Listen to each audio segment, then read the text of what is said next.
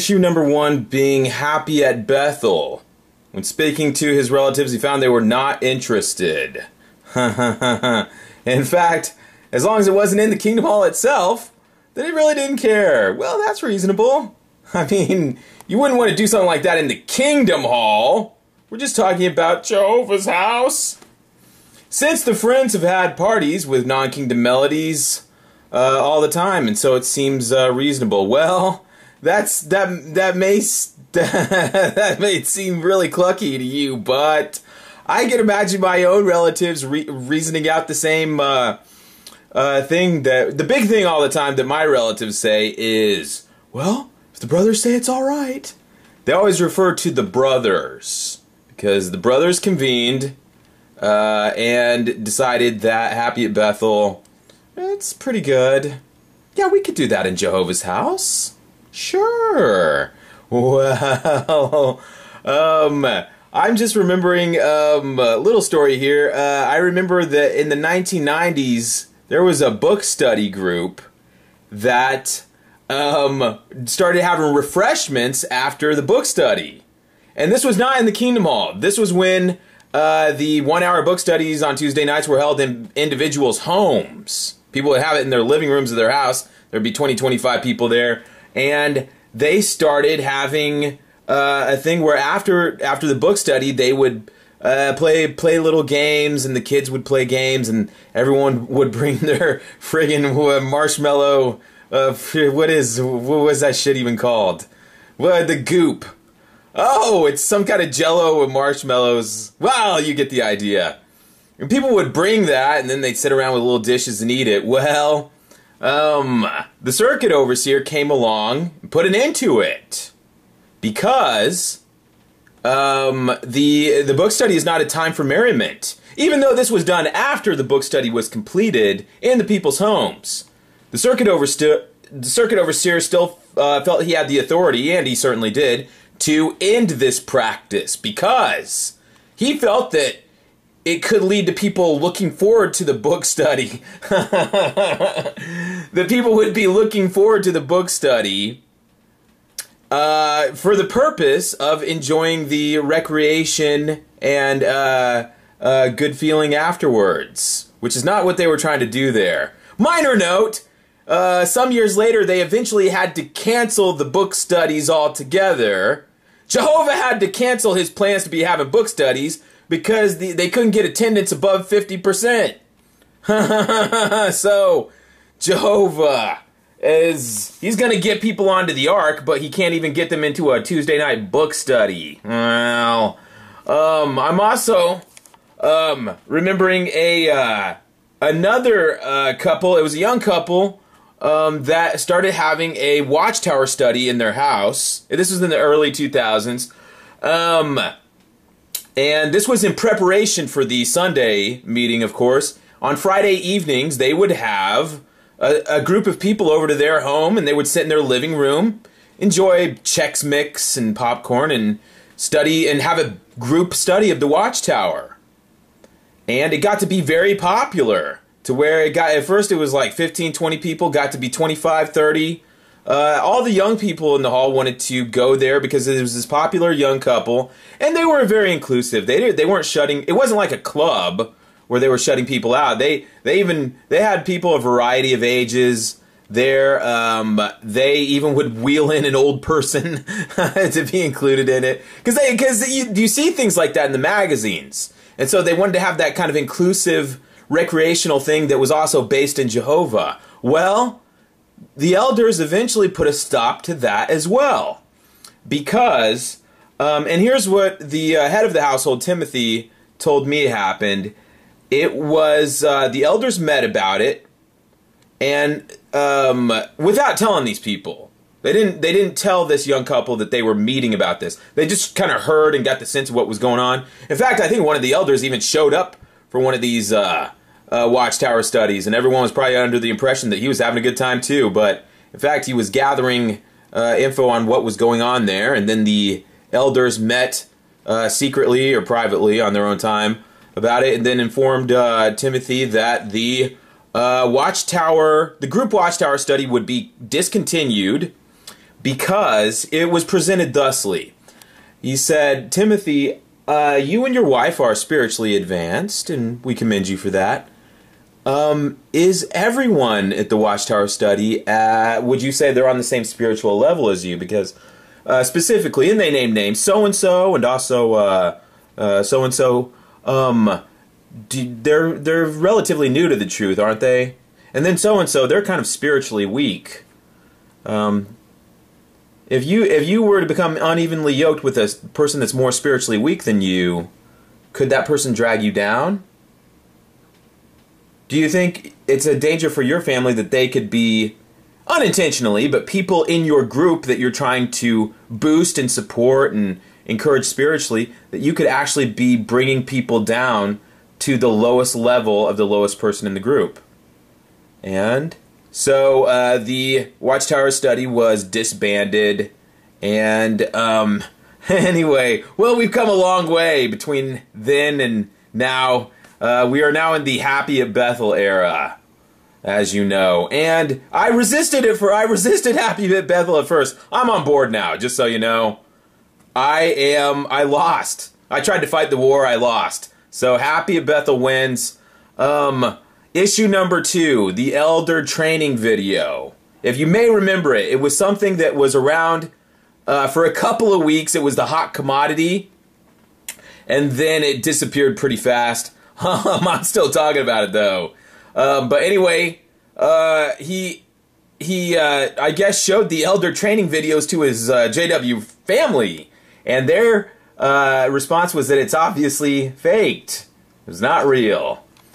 And uh, you see, his relatives are aware of the exclusive publications that the Watchtower Society makes books and videos, etc., and memos and letters that aren't to be seen by the congregation, specifically for the elders or exclusive people, and uh, considered that the elders leak who the elders who leak these materials, it keeps happening again and again, are snakes in the grass. They were not prepared to accept the Robbie video as real, since it didn't agree with their view that DFing can only happen if you're unrepentant. And this is key. You see, um, uh, this Robbie video that came out, it was very popular. People watched it, and it was it was hot stuff for about a week, and then people uh, had a good laugh and forgot about it. I didn't forget about it. Well, anyway, there's this uh, young JW chap uh, named Robbie, and he um, he says that he went to a sandwich shop, got seduced by a woman, and she uh, basically man raped him. He's a JW man baby, and he's crying. He's crying to the elders, and he's pleading and begging with them because he he wants to be he wants to be a JW. He's not leaving for the world. He wants to stay at JW, but he knows he's really messed up and blown it. But he doesn't want to ruin his JW life. Doesn't want to lose his JW family. Doesn't want to have his JW world ruined. And so he's begging them not to disfellowship him. Well, and at first the elders think about it and they say, well, you know, Robbie, he's little Robbie from our congregation, and we've been his elders probably ever since he was a little boy. We went fishing with him. We watched him grow up. But uh, in the end, the elders say, well, we can't let Robbie get away with it, though. We can't let Robbie think that he's going to get away with it, you see? And it would be wrong to let Robbie escape without getting what's coming to him. Robbie has to pay the price. And this is an instructional video showing, reminding elders that uh, all the little Robbies out there need to pay for failing.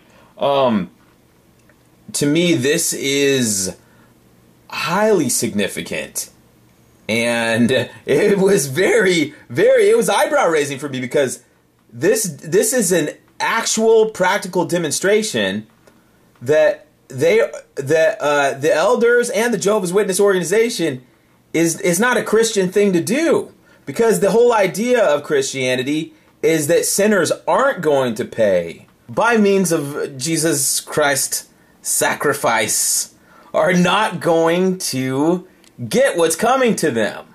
And the whole Jehovah's Witness video is all about making sure every, nobody gets away. Everybody gets what's going to be coming to them. And um, it's, you know, at first you laugh about it and then you start thinking about it and you're like, wait, this is really ugly. Because if you're not getting forgiveness, because everybody's sinning, and if you're making a point to bust people, catch people, make people pay the price, well then what it's not really Christianity. It's like what is this?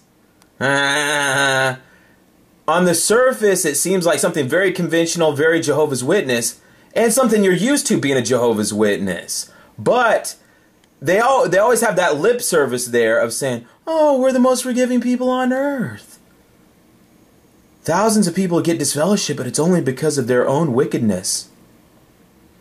They are stubborn. Their stubborn refusal to submit to the elders. And that's what you always hear when you're saying, and you're like, I, I don't, you're talking to a Jehovah's Witness and you're like, I can't get on board with the whole disfellowshipping thing. And they're like, oh, it seems harsh, but really people disfellowship themselves. Because only people who are rebellious and refuse stubbornly to repent get disfellowship. In the video, you have this whimpering sap begging, literally begging the elders like they're Jehovah God just not to do this to him, and they do it anyway. And um, it's something that at first you're watching it because you're like, oh yeah, that's Jehovah's Witnesses, but then after wait, you're like, you're like, why? Wait, why does this religion exist? The sense was that believing in the training uh, video as real would make them accessories to leaking the elder's crime. That's a very Jehovah's Witnessy uh, position to take. It's uh, well, it's all it's all very. It reminds me of my own relatives very much. That if you if you believed that the video was authentic, in a way you'd be complicit with it, with the crime of it being leaked. And so they decide in their mind that it, they decide to make it not real, and say, "Well, I'm sure that's fake." You can tell they were confused by it since the video contradicted what they were told. I can't emphasize this enough. It is um, it's a double speak thing of Jehovah's Witnesses that they're always talking about punishing people, catching people, getting people, and that's their big thing. Well, you watch this. You watch this uh, recent JW struggle video. A guy used to be an elder. He was like, "Yeah, the the big thing about being an elder for me, I just couldn't do those stakeouts."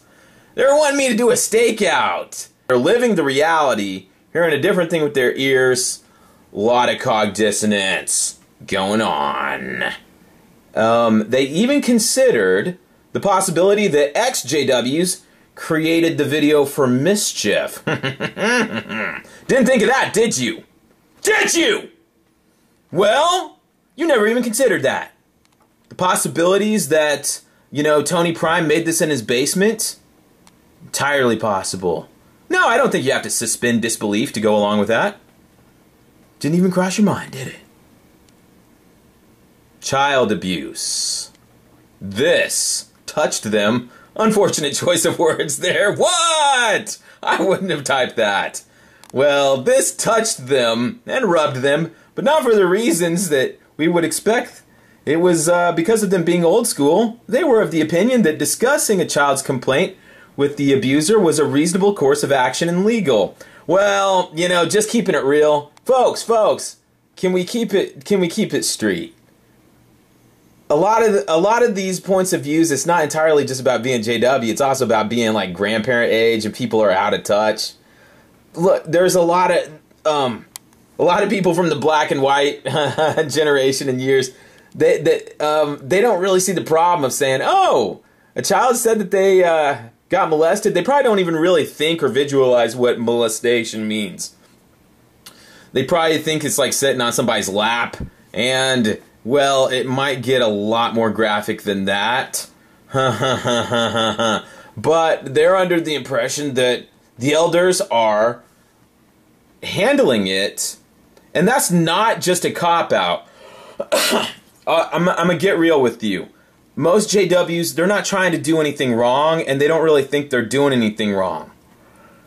It has been imprinted into the JW psyche and consciousness through reinforcement, meetings every other day, day in, day out, they have the meetings. You're like, why do they got to go to meetings all the time? And why do they get so irritated and uptight when people miss meetings? Because that is when the mental imprint gets reinforced again and again. Trust the elders. Believe in the elders. Even, even the new song book has a song singing about the loyalty to the elders. It, and they emphasize it again and again. When an elder speak, it's like you're listening to Jehovah. It's like you're listening to a CD recorded by Jehovah of his greatest hits. And for this reason, the JW's probably ha- average JW probably has too much trust in a uh, elder. Elders are just schmoes. Well, you've been watching the Derek and Leon channel and seeing some of these elders in action. They're jackasses, right?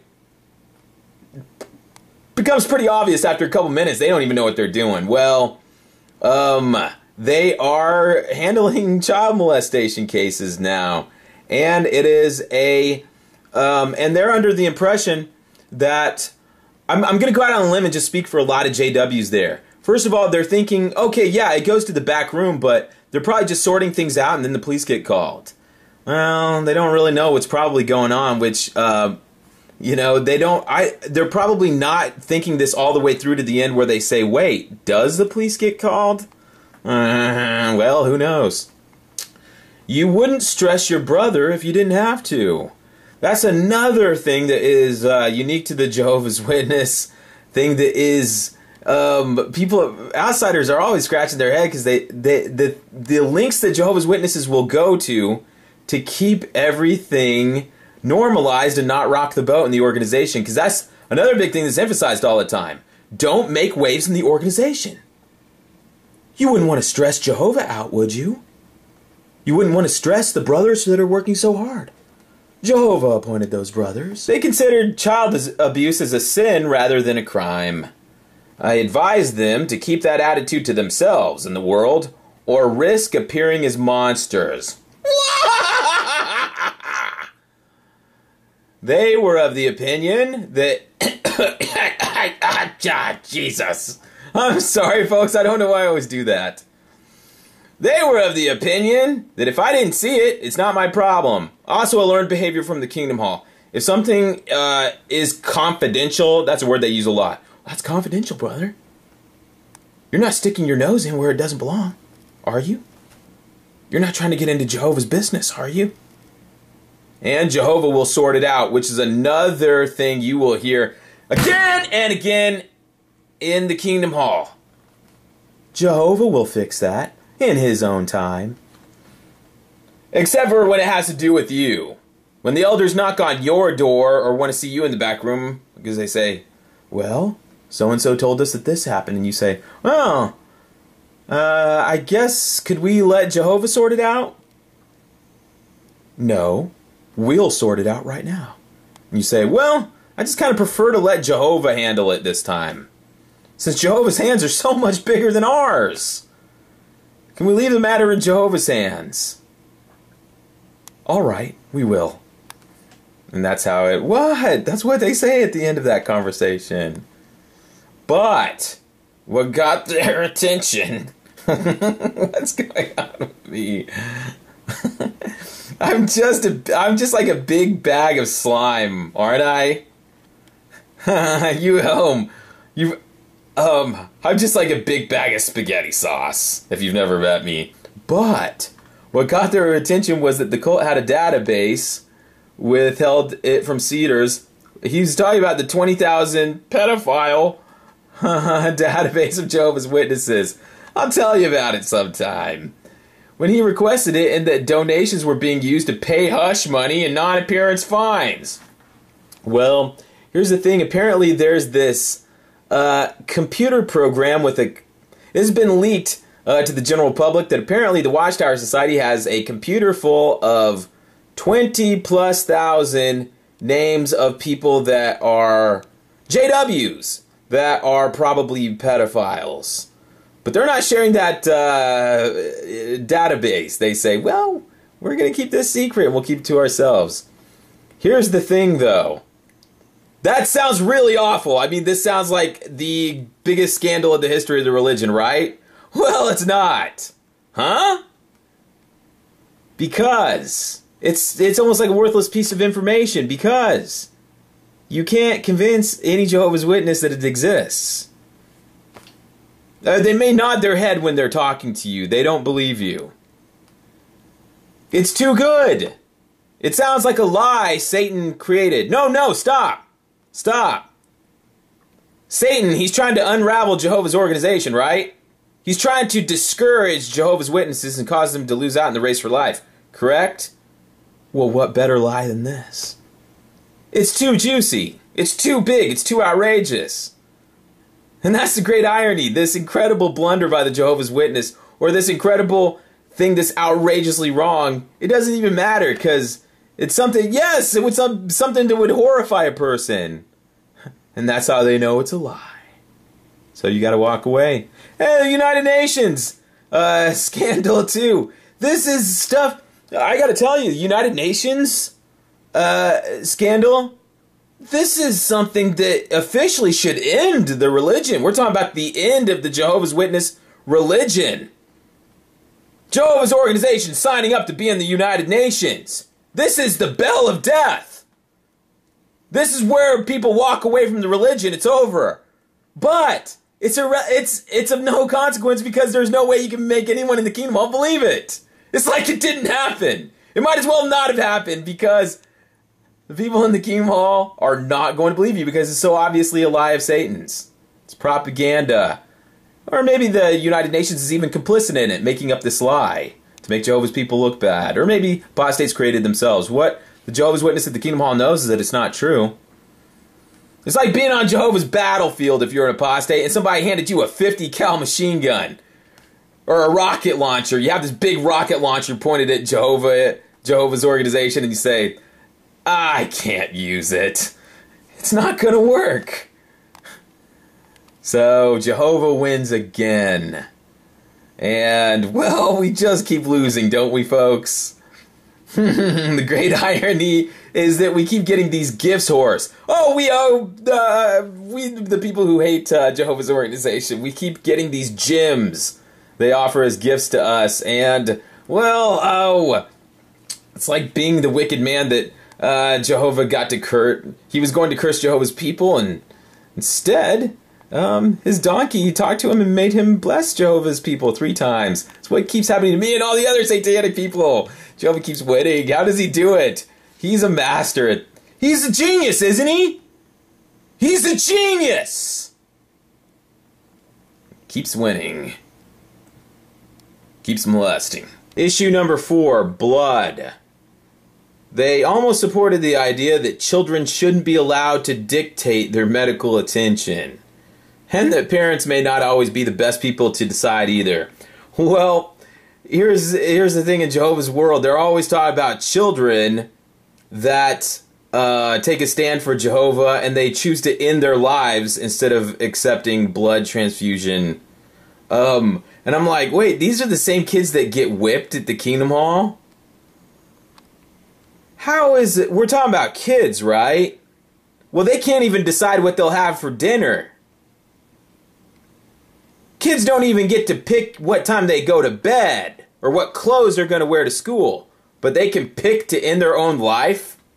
Uh, well, um, and they have the they have the Awake magazine cover where they had all these faces of kids that chose to, to suicide for Jehovah, and I'm like, and I'm like, yeah, but um, if there's here here's my problem. Statistically, and you know this from the Pew Research Foundation that did a comprehensive study, two out of three kids that are raised Jehovah's Witnesses decide to be worldly people when they grow up, right? How many kids were in that Awake magazine from 1994? Where what did it have? Like two dozen kids on the cover that suicided for Jehovah, or their parents helped them uh, decide to uh, pull the plug. well, two thirds of them were going to grow up to be worldly or disfellowshipped or inactive, right? Two thirds of them were going to apostatize or get disfellowshipped or drop out, right? So essentially, Jehovah killed. Jehovah killed a bunch of worldly people or future worldly people. That doesn't seem fair. That's well, it well. At least because they died when they were kids, they'll be in the new system now. And here's talking about Jehovah's Witnesses being monsters. I got to break this down for you. And if you're an outsider, you're like, that's just awful. Calm down. Let me explain something to you. Jehovah's Witnesses are um, resurrecting people. They're giving people eternal life. Now, you in Christendom, you go to church, right? One hour on Sunday, you go to a church and you sit there, and they talk about angels sitting in heaven playing harps, and then you, and you nod your head, and then you walk out, and you're back into the real world. That's a second reality. It's not even a second reality to you. It's just fanciful, we wish, what if things, right? When you're thinking about Jesus and the angels floating on pink, pink clouds, that ain't a real thing to you. Or maybe it's pseudo. Uh, I, I, don't even know what goes on in, in you people's minds. Let me tell you something about Jehovah's Witnesses. When they come to your door and they sit down with you on your couch and they're talking about the new system, they're not talking about something fanciful. They're not talking about, oh, wouldn't that be nice? They're talking about an actuating reality soon to be here, two to three years. When they're talking about people being resurrected, they're talking about people they know, and they're making plans to see them very soon. I've known Jehovah's Witnesses that have their relatives' rooms ready for the upcoming resurrection. Killing people. They're saving people's lives. Especially since um, the dropout rate of Jehovah's Witnesses is getting worse all the time. When um, when people when people die young and they're they've been Jehovah's Witnesses, it's almost like they averted you know an uncertain outcome. That sounds that sounds that sounds. That sounds. well, um, long story short, um, look, if you think somebody's going to get resurrected, it's not like a big deal. I don't know how to. Um, you have to be there. You have to be there to understand. But um, first of all, you're like blood. People die in blood transfusion. Doesn't even happen that often, and when it does, they're just going to get resurrected. It's been guaranteed, whereas the average Jehovah's Witness has no actual guarantee that they're going to uh, make it in the new system. That's an iffy thing. Um, anyway. JWs are a hierarchy. Yeah, right. That is something that will anger a Jehovah's Witness quicker than anything else. You suggest that their organization is a hierarchy? Damn. They totally refuse to accept this. It angered them, in fact. Hierarchies are a Catholic thing.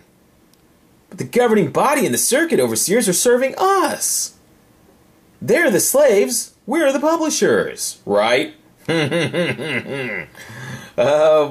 well, they like to think of it as an inverted pyramid, with them at the top and the GB at the bottom.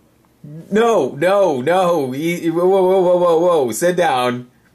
He's not kidding. That's the way Jehovah's Witnesses really. I know it's it's. You're saying I can't believe that. That's just silly. Well, I don't know what to tell you because that is what Jehovah's Witnesses believe. They believe that the governing body are beneath them and working for them and serving them in a way by facilitating. They work so hard from they they get up at 6 a.m. in the morning and just work their guts out all day with what little resources they have. They scrape together every little penny to make it possible for Jehovah's servants to. Uh, um, they give them that access to make serving Jehovah possible. They're just facilitating it. Um, they refused to accept that the elders, etc., dispensed life and must be obeyed. Again, more cognitive dissonance. A Jehovah's Witness actually knows that their life depends on obeying the elders, but if you suggest it back to them, if you tell if you if you tell back to them the things they're telling to you, they deny it. Oh no, we're all equals. We just have different assignments, but all of us are equals, even the governing body. We're a society of equals. they were so stubborn on this, they were prepared to accept that DFing can be an error and didn't need to be strictly adhered to because Jay would sort it out. Well, he gets back. See, that's the thing. They always say Jay's going to sort it out, but he doesn't. That's the other thing. I wouldn't even be complaining if Jay did sort things out. I'd be happy to leave matters in Jay's hand. He doesn't do anything. Pinky rings and Rolexes. Ooh, got heated at this idea. I already know what he's going to say before he even writes it. The pinky rings and the Rolexes. I knew the moment that got brought up, the the tip, the, the roof would blow off. Well, things got heated at the idea that they were perks of the job. They absolutely insisted the jewelry was personally paid for. How? Stop. And I know that you may be prepared to believe this also. You say, well, maybe they use their own money to pay for it. No way. If you're if you're somebody that is actually Jehovah's Witness, you're like you, you can you nod your head for two seconds and you say, no, wait, no. That's impossible. What you're talking about is impossible. Because Jehovah's Witnesses don't have any money, right? Or you're not. If you're if you've lived a life that would uh, supposedly lead you to become a member of the governing body, excuse me. Supposedly, the idea is that governing body members used to be special pioneers or circuit overseers, or that originally they were people that. The idea is that you abandon the things of this world and you devote yourself so earnestly to the ministry and the service of Jehovah that you're not a person that's going to be profiting from this world. If you're if you're doing things the way that Watchtower magazine, if you're going paint by numbers of Watchtower magazine, you shouldn't have two pennies to rub together, right? Because you cast off every weight, you use every resource of this wicked old system of things to uh, support and pay for your ministry. You're going to tell me that 30 years later, after living this li- this austere lifestyle of uh, self-sacrifice and personal denial, that somehow you made it all the way you you made it all the way to being a circuit overseer, which you don't You're supposedly don't get money for that. Wink. Um, you you were a circuit overseer, living, eating like a bird, living like a vagabond, uh, just sleeping on people's couches. Come on and then you got and then you got promoted to working at Bethel or something where you take a vow of poverty. Wait, there's just no there's no realistic uh, order of events that would lead you to being a member of the governing body. Well, say, oh well, I'm here. I'm a member of the governing body now. Ah, I lived a life of self-sacrifice, but it was worth it. Well, first order of business. I'll use my huge savings account to buy myself a $20,000 Rolex. Get real. The fact that they all have chosen the same watch didn't even shift them. Now, see, that is. Hmm, who bought these watches for them? And you say, oh, well, it must have been, it must have been a real big fan of Jehovah's Witnesses. Uh, must have been a uh, must have been a wealthy Jehovah's Witness that bought these for them. Huh? Wait, if you're let me get this straight. If in your if you're in the mind frame of serving Jehovah and through any order of events you came to acquire a Rolex watch, would you not sell that watch and buy a service car? Even if you don't need a service car because you're on the governing body and you don't go out in service anymore, wouldn't you buy someone you know that needs a service car a service car?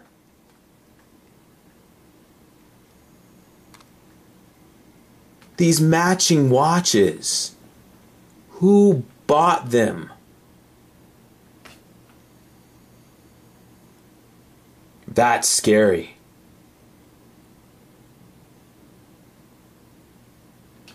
Who once once you start uh, reducing and and doing the process of deduction on this, and you say, who did they make so much money for, or who profited so much from the existence of this Jehovah's Witness governing body panel that they just wanted to give them a small token of their appreciation and dropped a hundred grand on buying them watches. That's scary. Who profits so much from the governing body of Jehovah's Witnesses that they decided to give them all club rings to wear on their pinkies?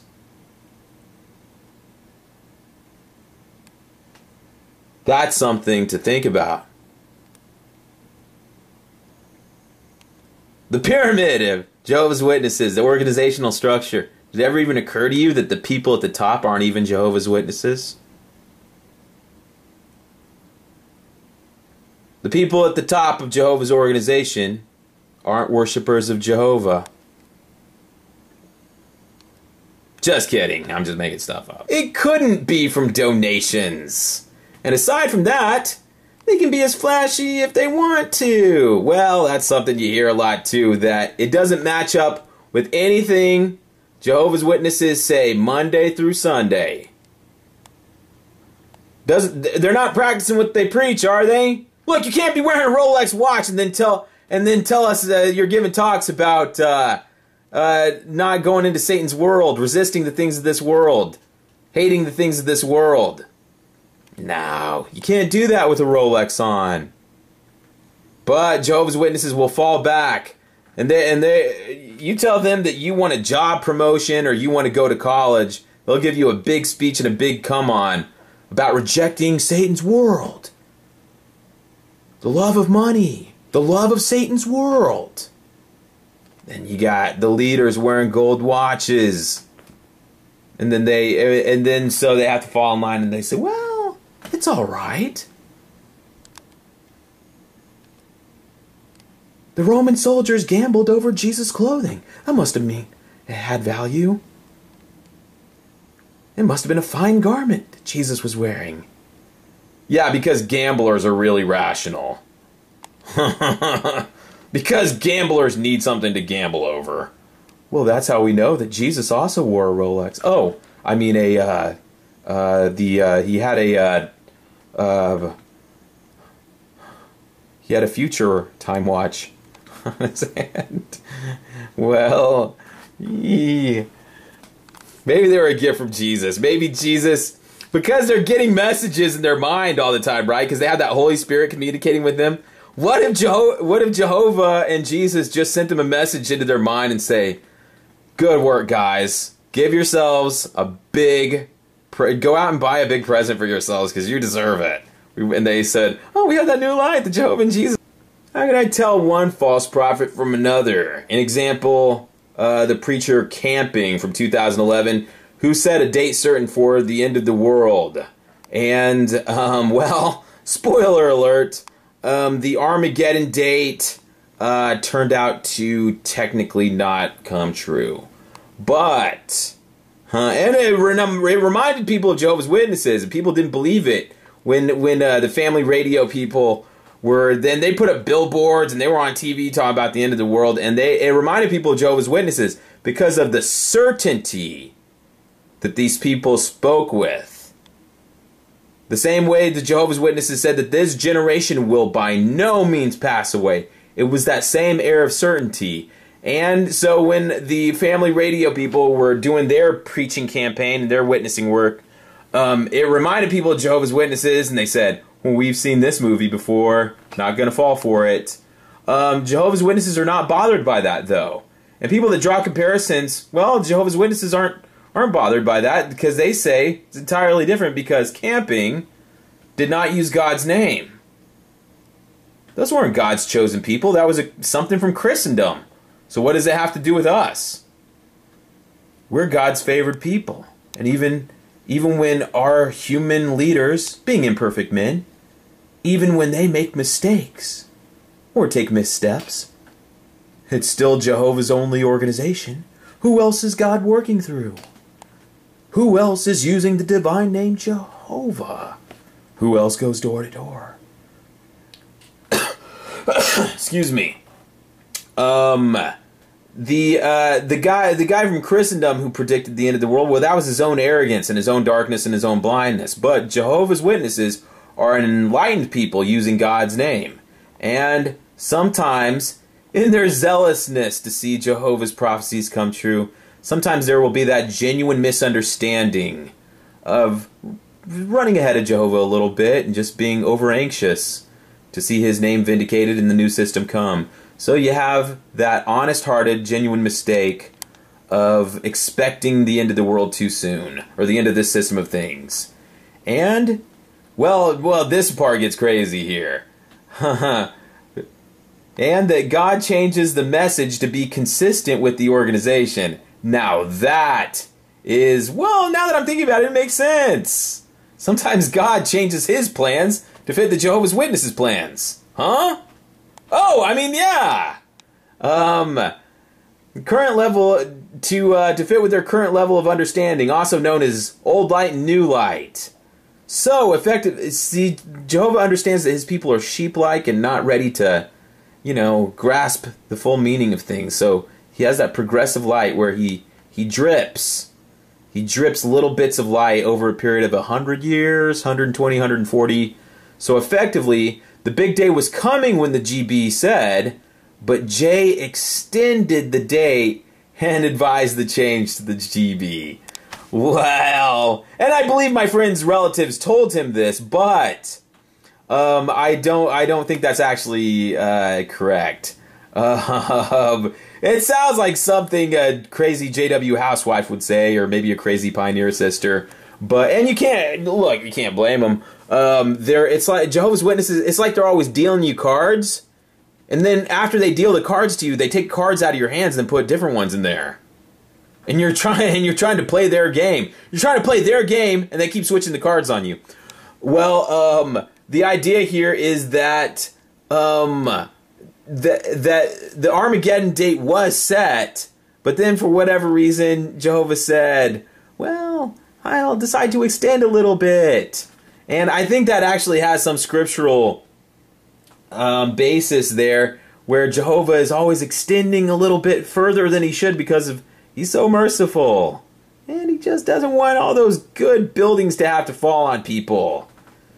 Those buildings have a lot of bricks in them. I could use. Jehovah's Witnesses' famous thing is the 1975 date for uh, the end of this system of things and the beginning of the uh, new system of things. The math was dead on. It was perfect.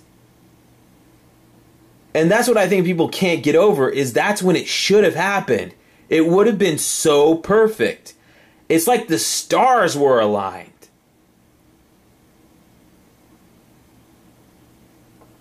the the history of Jehovah's Witnesses, it was like everything was falling into place and turning out just as it should. And well, again, this is all before I was born, but in in retro, I can I'm looking back and I'm seeing how people were looking and thinking at the time. It just the even even after the date came and went, and it didn't happen. It's still people. It just wanted it so bad. They're acting like it almost did happen. I don't know. Um, the 1980s uh, well, they pushed it back and said, well, 1984. 1984 to 1994, because in the Bible it said that the length of a man's years is 70 or 80 years, and they said, 1914, the generation is going to last 70 or 80 years. And 19, the 1980s, early 1990s, there was, I don't even know how to describe it to you. Uh, if you weren't in the world of Jehovah's Witnesses in this time, there was an electricity in the air. There was the Cold War going on. There was the maximizing of the preaching work. The Watchtower and Awake magazines went from being black and white uh, pulp newspaper to being these color magazines. And the covers. Oh, the covers of these magazines. Crack cocaine. The AIDS epidemic. Runaway children white slavery. I don't know. They had a different they had a different one each month. They had two a month. And it was it seemed like Armageddon was it was like a bubbling teapot. in Jehovah's kitchen. And um it's a different feeling now. It's that that time is gone. It just dissipated. Nothing even happened. It just fizzled, you know? That 20th century air of certainty that Armageddon was in its trembling final moments. That feeling just, it's like the air went out of the tires and it's gone. And what's left now is barely recognizable to someone like me. A bland, you know, vanilla yogurt world of the the JW.org. I guess people like it to me it's like they're giving up.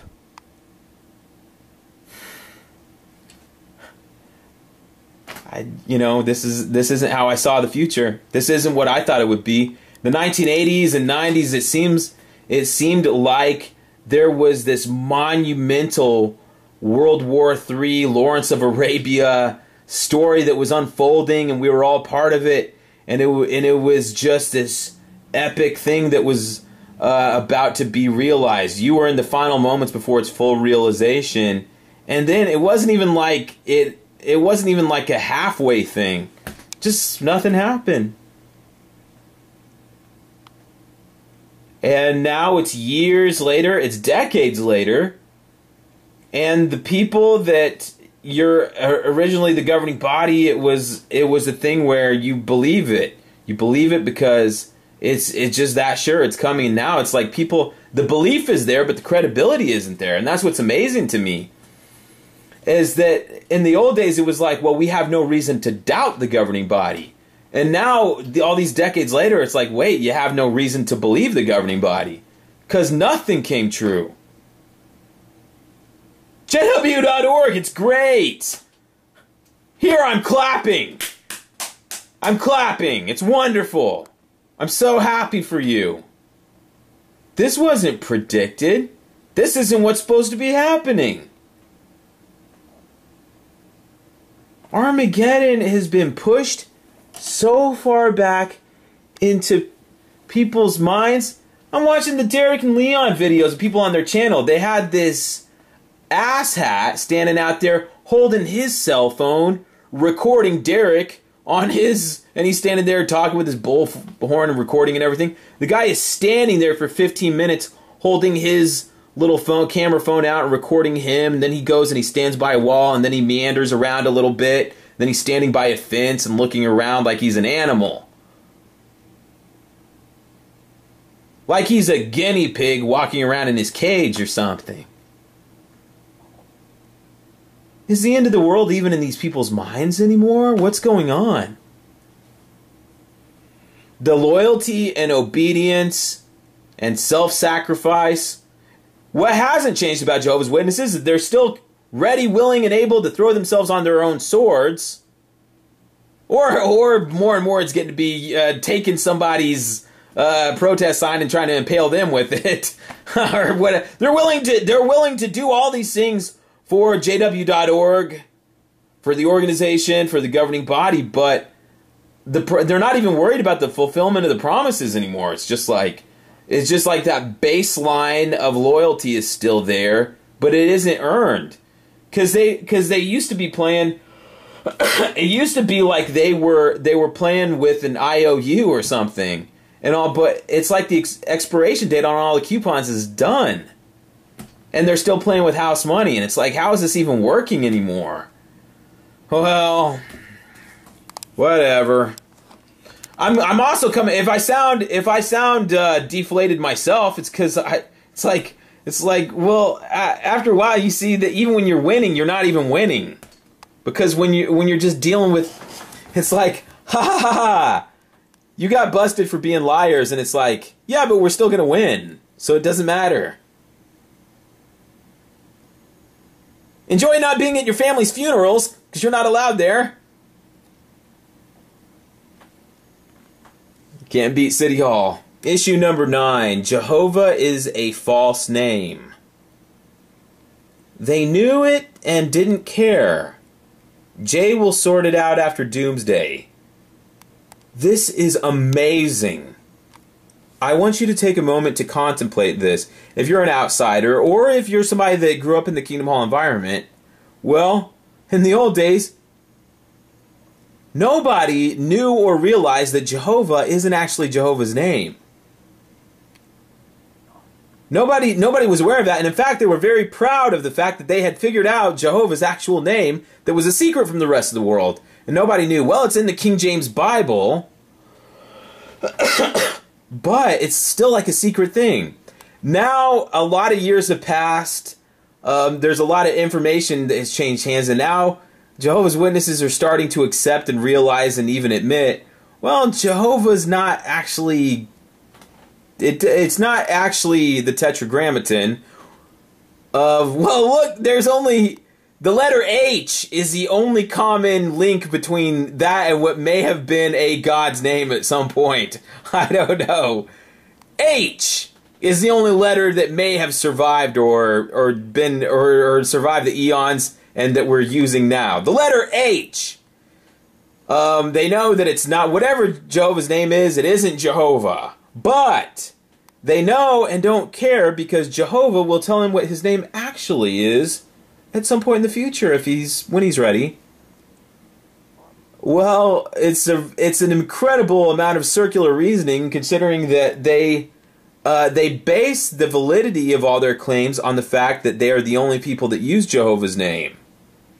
And then you say, yeah, but it can't be Jehovah's name because it isn't Jehovah's name and there isn't a Jehovah because the name was made up. And they say, well, Jehovah, it's the commonly used version of Jehovah. So we will learn his new name someday when, or I mean his old name, at some point when the new scrolls are opened up. And it's like, yeah, but I thought the whole big thing, look, like we talked about before, it doesn't matter how many things go wrong, how many things go haywire, whatever horrible thing you hear about Jehovah's Witnesses or whatever embarrassing, disastrous things happen Jehovah's Witnesses maintain it doesn't matter because they're still the only people that use the divine name. And then you say, but there, it's there really isn't a divine name, and that certainly isn't it. And they say, well, it's close enough. And Jehovah knows that we try. Jehovah sees that we're trying, and it's like, yeah, but you're not hearing me. There is no Jehovah because there's no such thing as a Jehovah. Jehovah is a made up word. It's like, well, it's closer than anything else. Um, they, they say, well, sorted out after Doomsday. Issue number 10 Protesters at Meetings. This was interesting. Follow me here. they invited pro- protesters as evidence of persecution, just like we told you, evidence of persecution, and therefore being correct. No shit. I, I, I've, I'm, I find it amazing how many people say, huh, Jehovah's Witnesses aren't going to listen to you because they just view it as persecution. Oh, really? That had never crossed my mind. I wasn't aware that Jehovah's Witnesses find everything to be persecution. That's such breaking news to me. Thank you for that. Um, and therefore, you're only confirming them as being correct. Ah, I guess my plan backfired. Well, thank you for that revelation. I was totally unaware of it and it didn't cross my mind. But here we go. They hated the idea of protesters being seen to do more to protect children than they do. Bingo.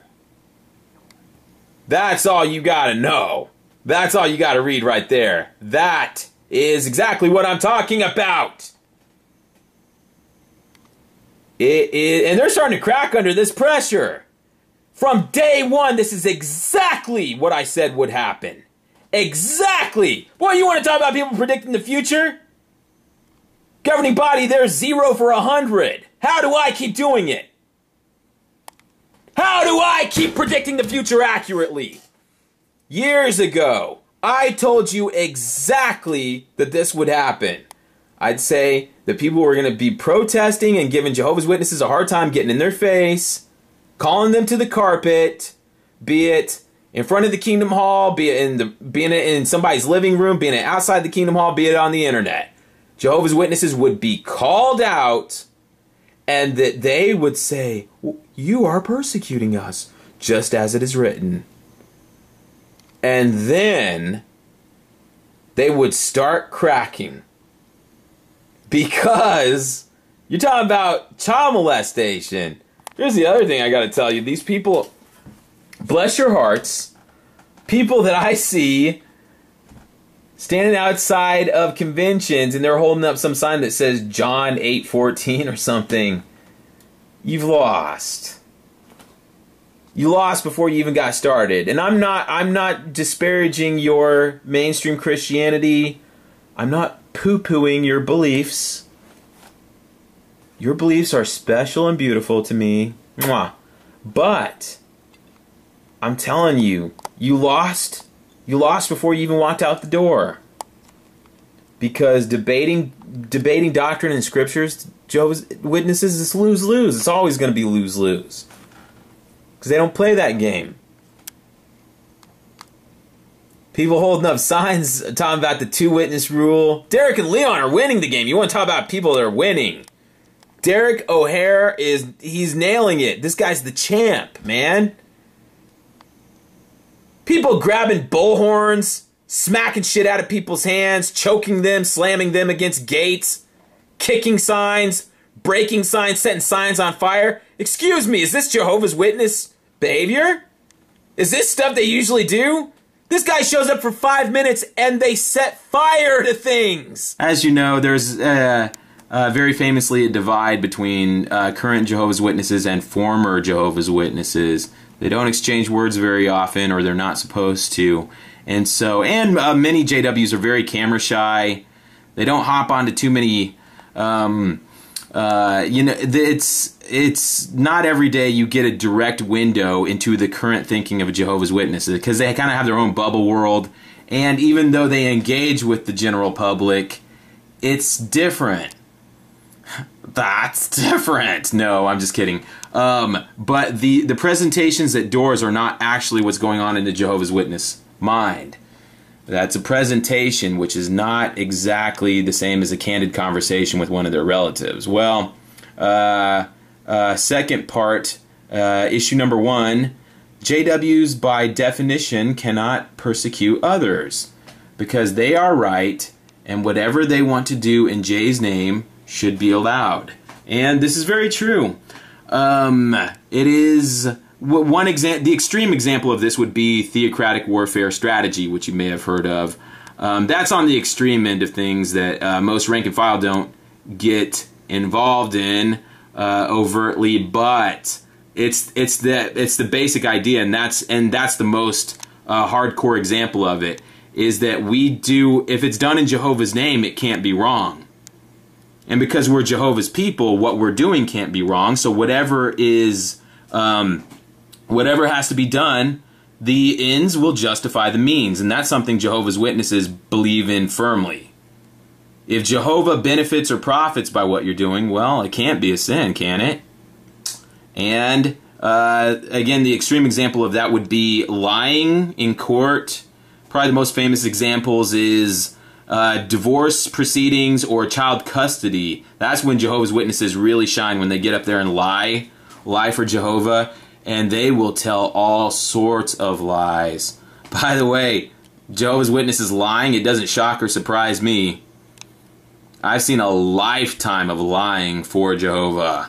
Um, I know all about it. So that is very true. And um, it's just it's just a rare treat to see you know to um, to see this account of Jehovah's Witness just coming out and say it. Um, they uh, they say, well, we're when we do some worldly people persecute us, but when we do stuff to them, it's different because we're Jehovah's Witnesses. I call it the license, the licensing from Jehovah to do whatever you have to do, and this is. Um, I've seen Jehovah's Witnesses go through other people's purses. what I have. I remember out in service, people going through another sister's purse because they suspected her a little bit. You know, just looking for her secret boyfriend's phone number. Um, Jehovah's Witnesses letting themselves into other people's houses, you know, to check up on things. I, would be on service, and Jehovah's Witness would go to someone's back door. You know, it's a well, it's my study. Uh, I'll pull on the door, see if it's open here. Uh, I might even need to let myself in. Uh, you know, just to It's I could tell you more stories. You probably wouldn't even believe them. Um, uh, issue number two: the million other religions are wrong. There is uh, a million other religions on the planet, and guess what? They're all wrong. Not just a little bit wrong; they're all completely wrong.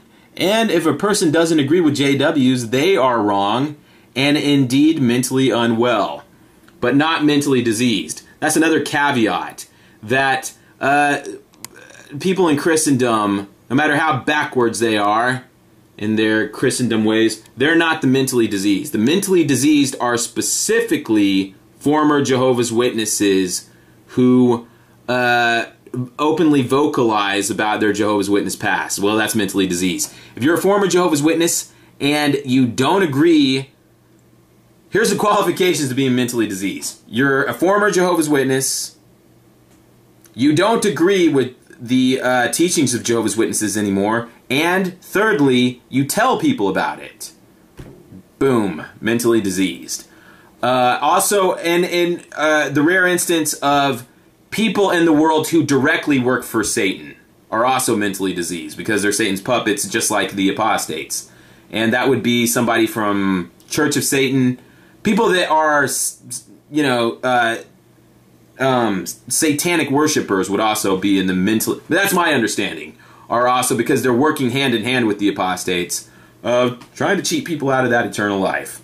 Um, we just want people to die. People are uh, people don't agree only because they can't understand what Jay is saying, rather than there being a reasonable reason to disagree.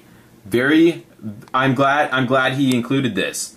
Um, first, well, there's a lot here, but first of all, the the million other religions that are wrong, and I've, you can have this conversation with Jehovah's Witness and verify it for yourself. You say, you, you could you could pose this hypothetical to them and say, well, what if somebody is technically a you know a mainstream Christian in Christendom, but just by coincidence they believe everything Jehovah's Witnesses believe?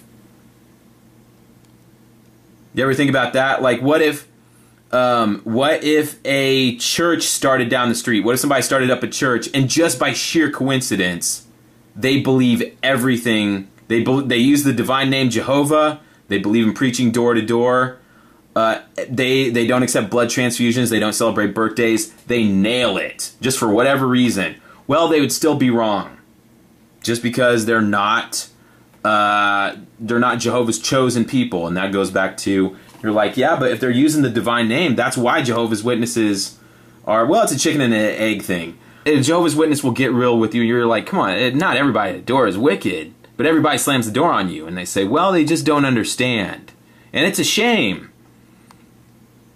you know, and the, it's it's something tragic a little bit. You know, they're not going to get misty eyed or anything, but they'll say it is unfortunate that if people could just understand what Jehovah's trying to tell them, they wouldn't have to die.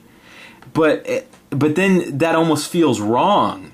You know, when you start thinking about it, it's like, yeah, but why should people have to die just because the whole Jehovah's Witness thing isn't believable at first glance? See, because that's the problem at the door. You have that 30 to 60 to 90 seconds to make a presentation which, by the way, I hate to bring this up, but have you ever noticed that the presentations at doors, they're, they're, eh, there's nothing in there that's going to save anyone's life.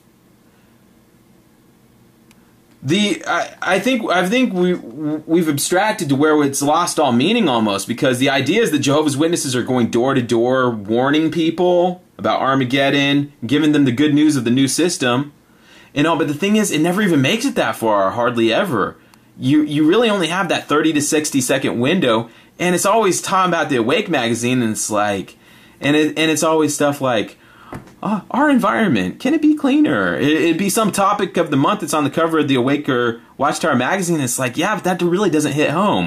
And you start to wonder is the watchtower society really trying to save people? Well or condemn them? Eh, well i don't know. It seems almost like you made you made a half measured effort to save people, and then you write them off a little bit too quickly, well, a Jehovah's Witness off the record when they are just getting real with you in the comfort of their own home, they say, Well, worldly people are basically the same as everyone else. They're not really that wicked, especially since most of them are in Christendom, which is not. I mean, it's like Jehovah's. Well, Christendom's like Jehovah's Witnesses. You're sp- they tell you to do good things, not bad. It's all from the. It's like in the Bible, right? It's the same general idea. Maybe they don't. Maybe they're not as. They don't have the stick to itiveness, and they say, well, the the the unfortunate part is that they still have to die because they they just can't understand what Jehovah is trying to do here. And realistically, they're not going to jump on board. It's the same as Noah's Ark that just, you know, you're like, you really think they're, they're going to climb into a dark, dank box with no air conditioning with a hundred year old man? Come on. Well, they had to die because they just weren't going to do that. It just wasn't going to happen. It's kind of the same thing with Jehovah's Witnesses. And, and you know, the more self the more self aware Jehovah's Witnesses will realize that too. That I remember when I was Jehovah's Witness, I'd be standing at the door and be like, "This person's gonna think I'm crazy." Is that pe- Jehovah? It's like it's like ah shucks. I just couldn't get the worldly people to believe what I was going to say. Well, I have to die now. That's too bad. And it's like, yeah, but it seems like it could be done better though. And um, there and uh, anyway, I think this goes into the uh, point point three here, where it says um, his his relatives say Jehovah doesn't really kill people, you see, nor does he want to, but there is no other option. When I suggested an option, I'm told that I shouldn't tell Jay what to do. I had a curiosity about me about how Jehovah's what, what like Jehovah's Witnesses how how does the outside world perceive it?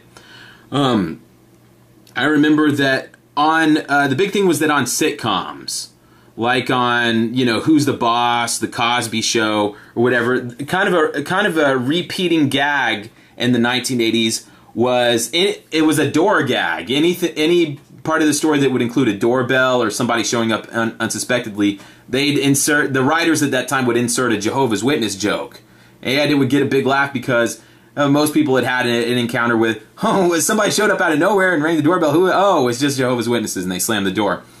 And I remember at the Kingdom Hall, uh, the the people in the congregation, like the night before, if it had been on some sitcom that there was a Jehovah's Witness that showed up in the middle of the show, and people laughed, they'd say, they'd say, well, that just shows that Jehovah's work is getting accomplished.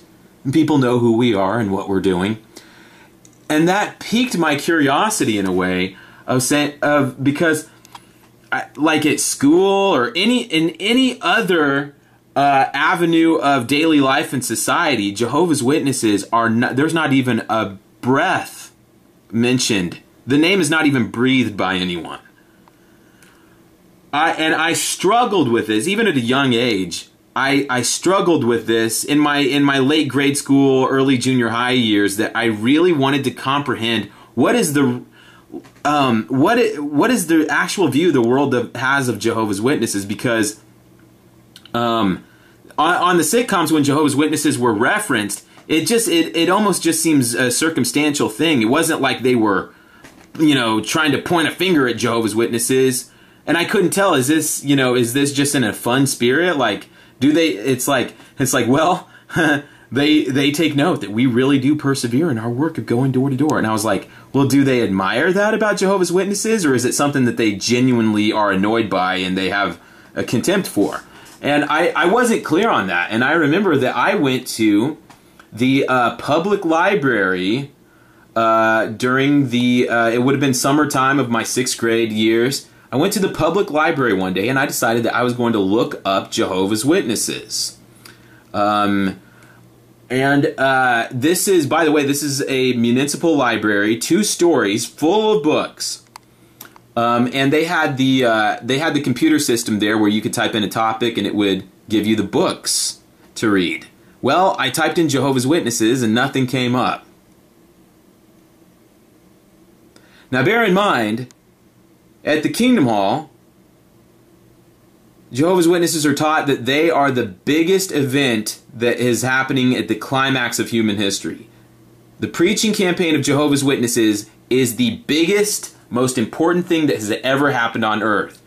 Uh, in Revelation, they're talking about trumpet blasts, portents being pulled, poured out, onto the sea and to the earth, and and the sea rejects its dead, and and uh, the uh, you know it's very visual, very descriptive. I mean, it's it's like locusts being unleashed, and they have the pictures of a swarm of locusts coming out of the clouds, and and and the the uh, the the clergy of Christendom is being tortured. It's like they're in hell. They would stumble off cliffs and fall to their deaths, and that was something foreshadowed by the swine that this. In fact, it was called the swine class. Um, and this was I think this was from the Rainbow series, and that that's what was uh, that's what was you know foreshadowed by Jesus sending a legion into the herd of swine that stampeded off the cliff, and this was a real thing because this was. And I um anyway, what was I even talking about? I was at this library and I wanted I wanted to I wanted to read an outside piece of literature written about Jehovah's Witnesses because I wanted some. I, I was just something that I wanted. I wanted to understand because when I was at school or anywhere I would go where I would say with Jehovah's Witness, people would say, "What's a Jehovah's Witness?" Or I'd say, "Well, Jehovah this, Jehovah that," and people would be like, "What's a Jehovah?" Um, and so I was trying to get I was trying to get my mind around it. I was trying to um, do this independently, and I went to this library. Um, the only reference in this entire library, filled with thousands and thousands and thousands of books, amazingly, nobody had anything to say about Jehovah's Witnesses. There was no book. There was no book. Oh, excuse me. I, uh, uh, correction here. They had the Truth book that had the library stamp on it and everything. They had the Truth book, and then they had a New World Translation Bible that were sitting on the shelves. Well, these were books that I already owned and have read and everything, but I, I wanted to see something written by an outsider. And uh, the only the only thing I could find about Jehovah's Witnesses was from an encyclopedia set that I was directed to, and it took me a great deal to find. So I went to this Encyclopedia Britannica, went to uh, the uh, uh article about Jehovah's Witnesses, and I read that Jehovah's Witnesses, based out of New York City, are a Protestant denomination. that was the first time I had read that, and that was something a little bit shocking to me. They said they're a uh, Protestant domination of uh, um, restorationist origins, and it it was it was strange to me. But the entire article was about the corporate structure of Jehovah's Witnesses, and there was a little there was a short paragraph about um, the the preach the the preaching work and some of their um, non traditional views. But it was basically two pages about the uh, the the office buildings uh, in in New York and about the structure of how uh, the equivalent of oh well they have the way that they have bishops and deacons and in mainstream churches Jehovah's Witnesses have their own equivalent. It's just different name their structure has their own unique names, and it was very unfulfilling to me. And I, at, at a young age, I and I got over it, but I struggled with this idea that, and it bothered me that people weren't paying attention to Jehovah's Witnesses, especially since this was my whole life, which had to do with my father. It was really hit my father. It was his whole life every moment of every day Jehovah, Jehovah, Jehovah, Jehovah, Jehovah, Jehovah. And um, it and I followed suit, and it, I, I was a little Jehovah, a little Jehovah soldier from a young age, and you know when I got older, got into the like the high school, junior high, high school environment. I started my world was getting bigger and then Jehovah's world seemed like it was getting smaller. In the last days, presumably, he says that the harvest is great and the workers are few. This is what bothered me more than anything. Now, I, I live in an agricultural environment, so I'm going to use this as an example. Well, what if what if you talked to a farmer and you said, "Well, let's talk about the harvest." Um, 50% of it is just worthless. It's just going to be cut down and thrown into the fire. Well, the farmer would tell you that's a really bad harvest. It's not a great harvest. Well, it's worse than that. Uh, 90, like a, a big field of wheat or corn. You have a big field of wheat. 90% of it, unfortunately, can't be salvaged. It has to be destroyed. Well, that's not a great harvest. That's a terrible harvest. Well, it gets worse. 95% of the harvest has to be destroyed and burned with fire. Well, that's that's a disastrous harvest. Well, it keeps getting worse. 99% of the crop has to be destroyed with fire, unfortunately. Well, that's not even a harvest. That's it's it that's like the opposite of a harvest. That's a disaster. That's a waste of time. That's when you need to quit. That's when you say this line of work isn't isn't going to do it. You're faced with you're faced with the problem of okay, did Jehovah did Jehovah not not you? I, I guess this is selective foreknowledge again. Is was Jehovah exaggerating? Did he get people's hopes up? Jesus, did he choose his words incorrectly? Well, he's done that before with the generations. And some Jehovah's Witnesses do start thinking about things like this, like just the mathematical aspects of it. You do know the preaching work's impossible, right? I'm just talking mathematically. What Jehovah's Witnesses are trying to do by sending people two two by two to each door, it's never you you do know it can't be done. It's not even in the ballpark and Jehovah's Witnesses will say, Oh, Jehovah has a way. A few hundred people get baptized, a few thousand people. There's millions of people being born all the time. You'll never catch up. It's never going to work. Jehovah is losing. Well, you can't say that out loud at the Kingdom Hall, obviously, but when, you know, as a young person, those are things that cross my mind. I guess you push them out. Um, and that's, uh, presumably, that's what uh, my friend's relatives do here a little bit too.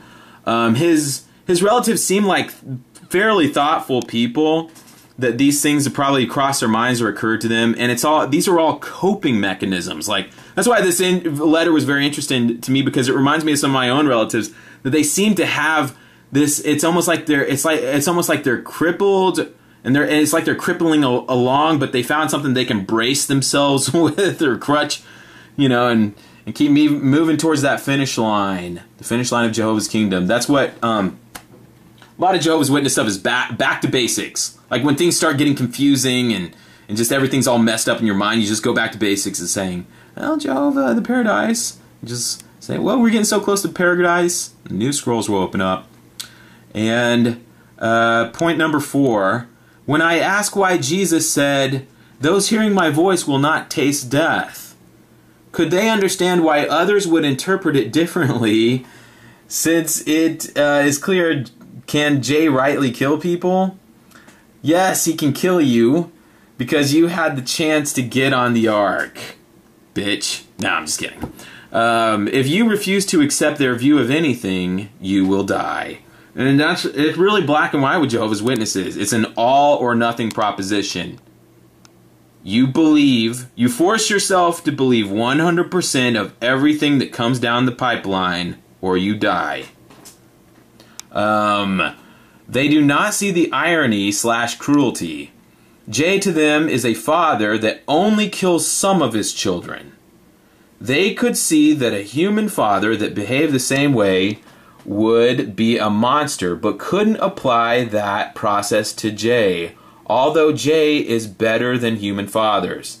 This is another point of dissonance that I also struggled with, and I think most people struggle. Most Jehovah's Witnesses struggle with this at some point in their life. That the Bible says that God is greater than our own hearts, and yet God keeps doing things that you wouldn't do, even on your worst day. Look, I really don't think you could have the Jehovah's Witness religion without the Jesus character, because he kind of ties it all together. You know, he's he's like the mom of the family. he really is. What? He uh, and that is kind of people pointed out that in, in some ways the Jehovah's Witnesses they don't like the Trinity, but it is almost like a triune religion that there's Jehovah's the dad, Jesus is the mom, the governing body is the big brother, and they're watching you. Well, um, uh, Jesus is he uh, when when you read the Greatest Man book or the Bible passages and the scriptures, it's hard to correlate that with him killing people, just killing people wholesale. And we're not talking about like a sniper with a rifle on a roof somewhere. We're talking about he just like a volcano blowing shit up. Um, because the picture, look, the pictures in the magazines and in the books, it seems indiscriminate. The killing, and it's some, it's something that Jehovah's Witnesses struggle with a lot because you're saying, well, the really, really bad worldly people get killed just the same as the people that just didn't listen at the door. It's the same punishment. You could be a serial killer. You could kill a million people, or you could just not pay attention to a Jehovah's Witness at, at the door. The punishment from Jesus and Jehovah is the same a fiery death.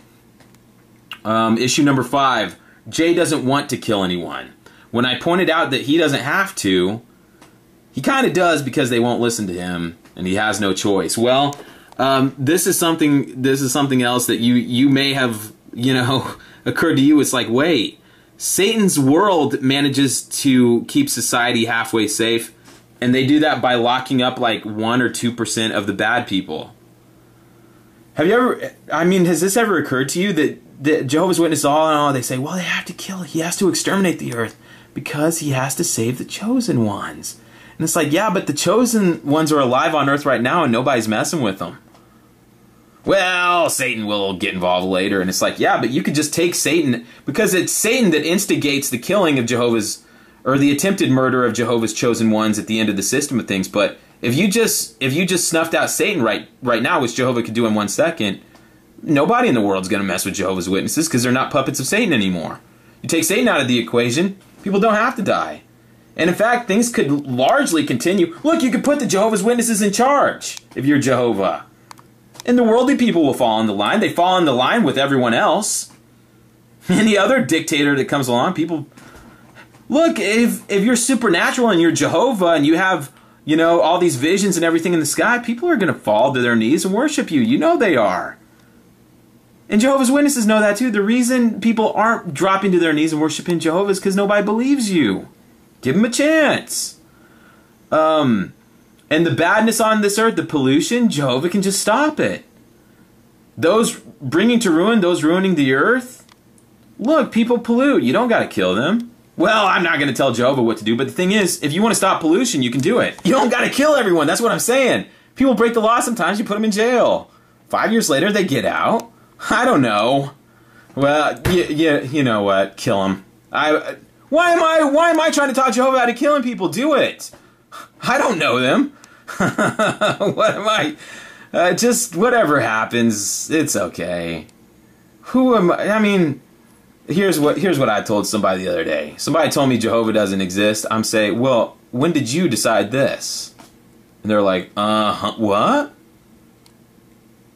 Said, what year were you born in? And they said, oh, uh, 1986.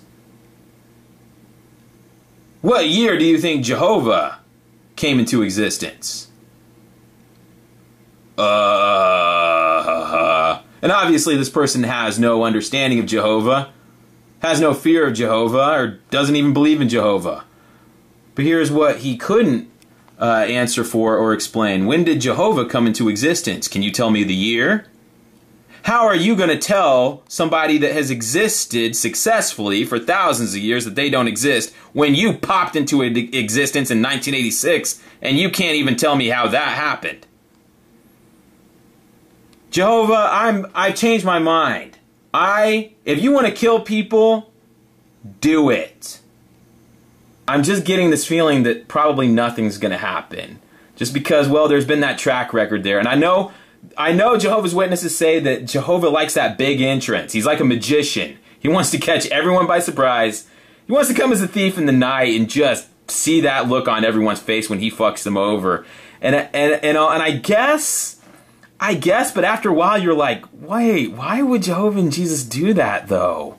If they just want people to worship them and sanctify, look, it's the easiest thing in the name. For, it's the easiest. It, it's all about His name, right? His name, His name, His name, His name. And it's like, but wait, Jehovah's Witnesses are the ones spreading a false name. Isn't that worse?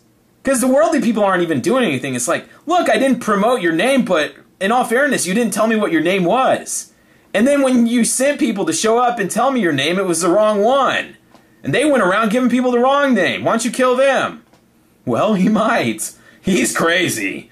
Anything could happen. Well, calm down. Nothing's going to. Nobody's gonna die. Um, but uh, um, the idea is that Jehovah doesn't want to kill anyone. He really doesn't want to. But for him, even though all things are possible with God, he couldn't figure out a way not to kill people. By the way, this guy solves really complicated problems and inventing the universe and creating all things. I'm imagining he had he he came upon he came upon some uh, you know uh, problems here and there that he had to overcome, and amazingly, he successfully. I mean, he he connected time and gravity together. He uh, he's the master worker, as Jesus said. I came to be a master worker beside you. But the two of them putting their heads together couldn't come up with a way not to kill, not to solve Earth problems without exterminating people. Well, um, point number six: Jay allowed the bears to kill the children. Well, he's talking about the prophet, the prophet Elijah there. Uh, uh, Jay allowed the she bears to kill the children who insulted the prophet because uh, the prophet was good, and so Jehovah. He well, the bears came out of nowhere. Here's an alternate theory. This is ju- and this is uh, this just I'm just shooting from the hip here. He the prophet killed them. The prophet killed uh, the little kids and tore them into 84 pieces or, or whatever. And then after they were all killed and torn to pieces, he said, "Oh, a bear killed them." Huh? How about that? I don't know. Does that sound like something that probably happened? Well, we'll leave it there. I'm just I'm just taking a shot in the dark that he took an axe and chopped them all to pieces and then said, "Oh, pieces of bodies everywhere." Huh? Well, you got to watch out for those bears these days. Uh, point number seven. When I asked if they would shed a tear when God kills me, one said yes and the other said no. But it was my choice to die. Point number eight. Jay may. Uh, this was this was uh, a new thought for me. Jay might allow only one person into paradise. Huh. I had never, uh, you know, I had never gone down this pathway before, but I guess technically, if you think about it, um, because Jehovah doesn't have selective foreknowledge. Oh, it because of his, he select, he has selective knowledge about the future, and we are all masters of our own destiny a little bit. Sometimes we are, sometimes we aren't. But what if every Jehovah's Witness failed Jehovah except for one? Well, would Jehovah still have the trillions a year of paradise? Well, apparently so. What if after the thousand year reign, uh, everybody sided with Satan and uh, they all were destroyed with him when he appears from the abyss? Well, I guess it'll be Jehovah and Jesus and one person on earth. And that person is Tony Prime.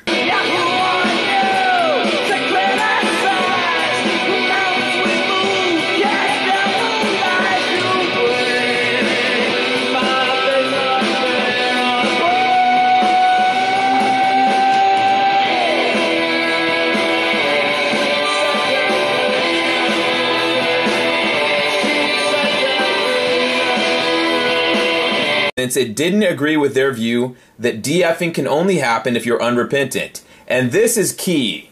You see, um, uh, this Robbie video that came out, it was very popular. People watched it and it was it was hot stuff for about a week and then people uh, had a good laugh and forgot about it. I didn't forget about it. Well, anyway, there's this uh, young JW chap uh, named Robbie and he um, he says that he went to a sandwich shop, got seduced by a woman, and she uh, basically man raped him. He's a JW man baby, and he's crying. He's crying to the elders, and he's pleading and begging with them because he he wants to be he wants to be a JW. He's not leaving for the world. He wants to stay at JW, but he knows he's really messed up and blown it. But he doesn't want to ruin his JW life. Doesn't want to lose his JW family. Doesn't want to have his JW world ruined. And so he's begging them not to disfellowship him. Well, and at first, the elders think about it and they say, well, you know, Robbie, he's little Robbie from our congregation, and we've been his elders probably ever since he was a little boy.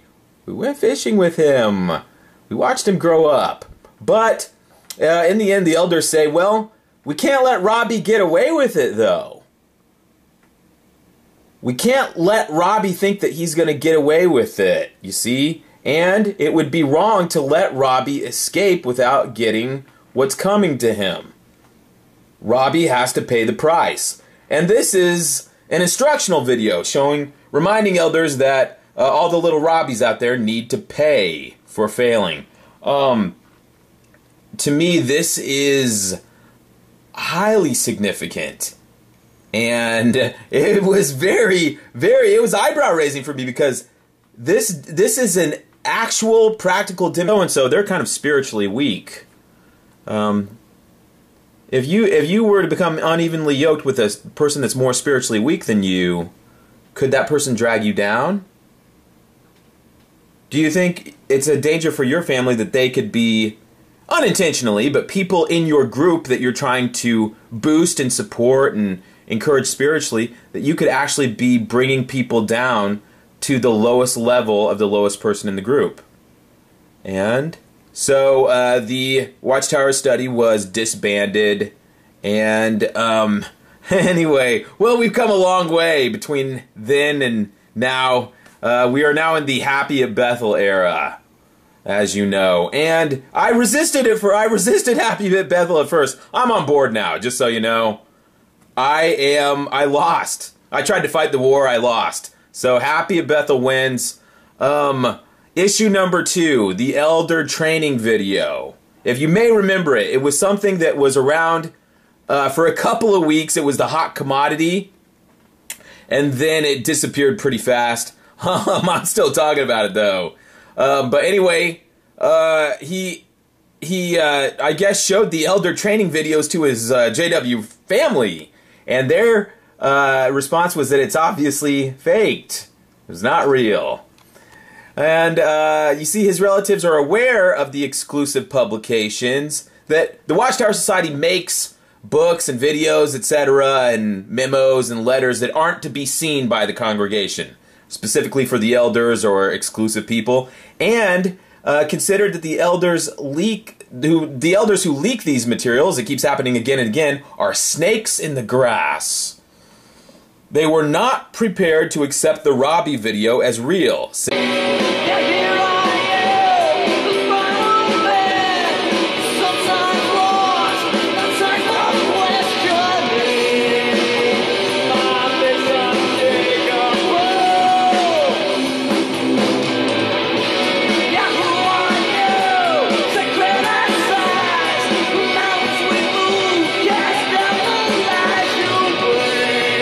Issue number one being happy at Bethel.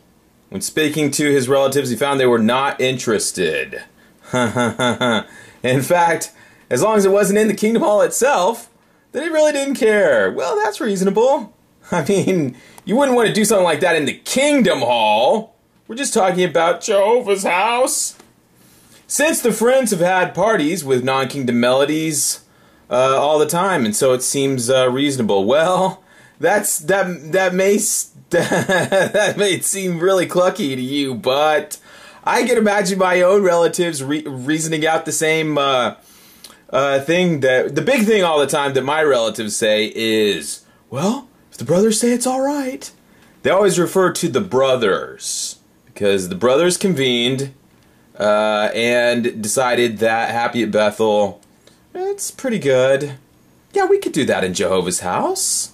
Sure. Well, um, I'm just remembering um, a little story here. Uh, I remember that in the 1990s, there was a book study group that um, started having refreshments after the book study. And this was not in the Kingdom Hall. This was when uh, the one hour book studies on Tuesday nights were held in individuals' homes. People would have it in their living rooms of their house. There'd be 20, 25 people there and they started having in their living room enjoy Chex Mix and popcorn and study and have a group study of the Watchtower. And it got to be very popular to where it got at first it was like 15 20 people got to be 25 30 uh, all the young people in the hall wanted to go there because it was this popular young couple and they were very inclusive. They, they weren't shutting it wasn't like a club where they were shutting people out. They they even they had people a variety of ages. there. Um, they even would wheel in an old person to be included in it because they because you, you see things like that in the magazines, and so they wanted to have that kind of inclusive recreational thing that was also based in Jehovah. Well, the elders eventually put a stop to that as well because, um, and here's what the uh, head of the household, Timothy, told me happened. It was uh, the elders met about it, and um, without telling these people, they didn't. They didn't tell this young couple that they were meeting about this. They just kind of heard and got the sense of what was going on. In fact, I think one of the elders even showed up for one of these uh, uh, Watchtower studies, and everyone was probably under the impression that he was having a good time too. But in fact, he was gathering uh, info on what was going on there, and then the elders met uh, secretly or privately on their own time about it, and then informed uh, Timothy that the uh, Watchtower, the group Watchtower study would be discontinued because it was presented thusly. He said, Timothy, uh, you and your wife are spiritually advanced, and we commend you for that. Um, is everyone at the Watchtower study, uh, would you say they're on the same spiritual level as you? Because uh, specifically, and they name names, so and so, and also so and so um, do, they're they're relatively new to the truth, aren't they? And then uh, a thing where after after the book study, they would uh, play play little games, and the kids would play games, and everyone would bring their friggin' marshmallow. Uh, what is what was that shit even called? What the goop? Oh, it's some kind of jello with marshmallows. Well, you get the idea. And people would bring that, and then they'd sit around with little dishes and eat it. Well, um, the circuit overseer came along and put an end to it because um, the the book study is not a time for merriment. Even though this was done after the book study was completed in the people's homes, the circuit overseer the circuit overseer still uh, felt he had the authority, and he certainly did, to end this practice because he felt that it could lead to people looking forward to the book study. the people would be looking forward to the book study uh, for the purpose of enjoying the recreation and uh, uh, good feeling afterwards, which is not what they were trying to do there. Minor note uh, some years later, they eventually had to cancel the book studies altogether. Jehovah had to cancel his plans to be having book studies because the, they couldn't get attendance above 50%. so, Jehovah is he's going to get people onto the ark, but he can't even get them into a Tuesday night book study. Well, um, I'm also um, remembering a uh, another uh, couple. It was a young couple um, that started having a watchtower study in their house. This was in the early 2000s. And this was in preparation for the Sunday meeting, of course. On Friday evenings, they would have a, a, group of people over to their home and they would sit